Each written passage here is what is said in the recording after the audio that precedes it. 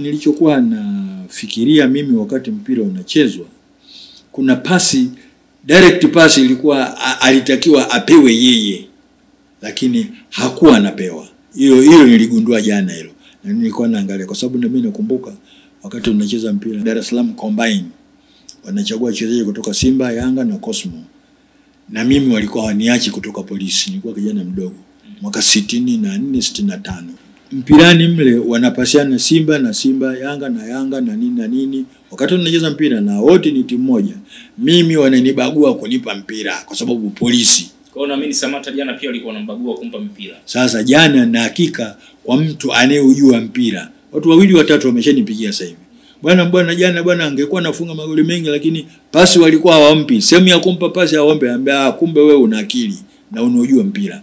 Mimi nilikuwa nawaambia pale pale watu, unaona pale pasi ilikuwa iende kwa mbwana, lakini haiendi kweli bwana. Ile cross ile ilikuwa nitakuwa, kwa sababu mbwana ni mzuri sana kwa, kwa juu. Sasa anapata sehemu mtu baada ya kutoa cross hatoi cross, anagagara gagara tu, mwisho wana- wana- wananyang'anywa mpira.